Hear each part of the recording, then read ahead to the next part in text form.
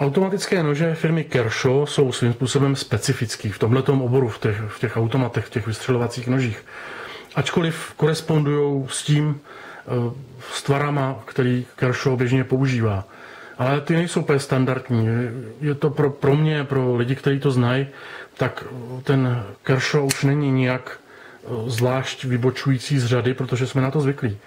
Ale jinak jsou jinak tvarovaný, oni mají zvláštní tvary. No, že Kershaw poznáte na první pohled vždycky. Poznáte to i na tomhle vystřelováku. Celá ta řada byla nazvaná launch. Vypustit, vymrštit, zahájit, spustit.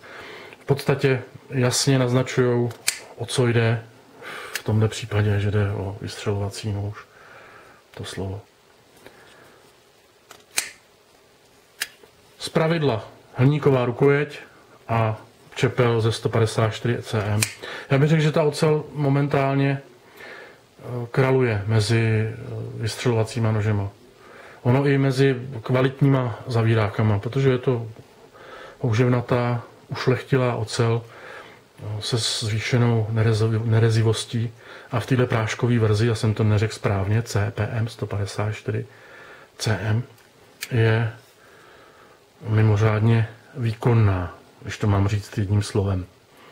Je tam dobrá, dobrá nerezivost kontra odolnost proti opotřebení a další vlastnosti, které jsou pro nůž důležitý.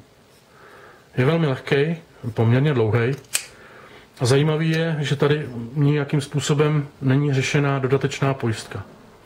Člověk by řekl, že ve všech těch restrikcích a všech nařízeních eh, to nebude jen tak jednoduchý vyrobit nůž bez dodatečné pojistky, jenom s tím jedním button lockem, sice zapuštěným a určitě vyzkoušeným, tak aby nedocházelo k náhodnému otevření.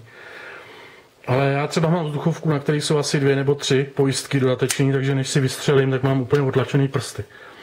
A to se týká v Evropě všech střelných zbraní.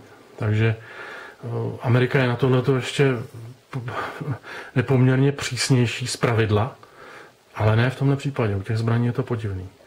Tam to mají vůbec celý obráceně. Můžete si koupit automatickou pušku na, na řidičák, vystřílet školu, ale když si chcete pořídit automatický nůž, tak vám ho neprodají. A speciální povolení vydají jenom vojákovi anebo jinému příslušníkovi ozbrojených složek. Takže tam je smůla. Ale je to stát od státu jiný. Kalifornie je přísná, některé státy, jako třeba Virginie, jsou méně přísný a nevím, jak to přesně je. Je to 50 států, každý jiný.